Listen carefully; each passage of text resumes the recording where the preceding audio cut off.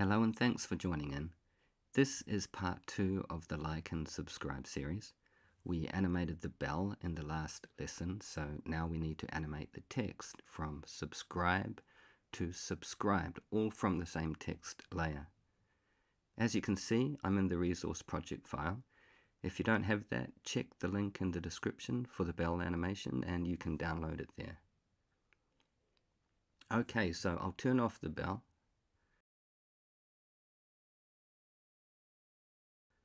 turn on this group and turn off the button layer. We don't need it for now. I'll bump the scale here to 500 so we can see everything better. Select the text and add a sequence text behavior.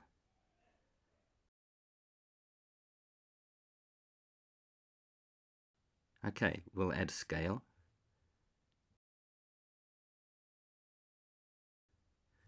set the value to 0.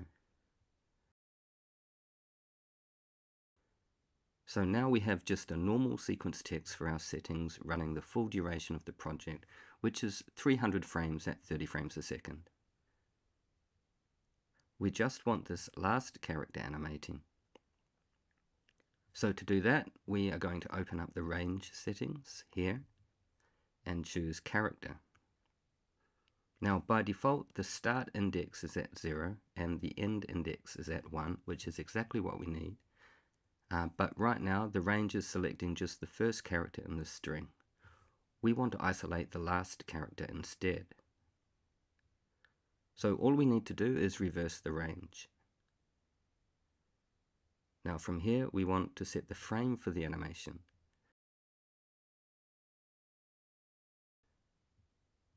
We can use the end offset for that.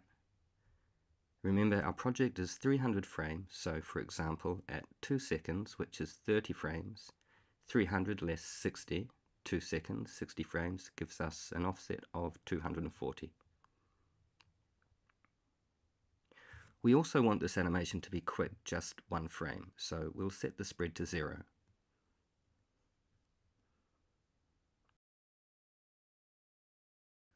Alternatively, because we are animating from a value, we could also just trim the behavior to this out point.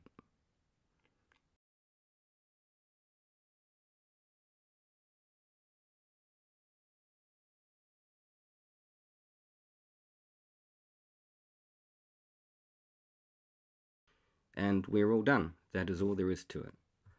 I will just put the scale back to default and turn on the other layers and groups because in the next lesson uh, we're going to start animating everything together for our like and subscribe title.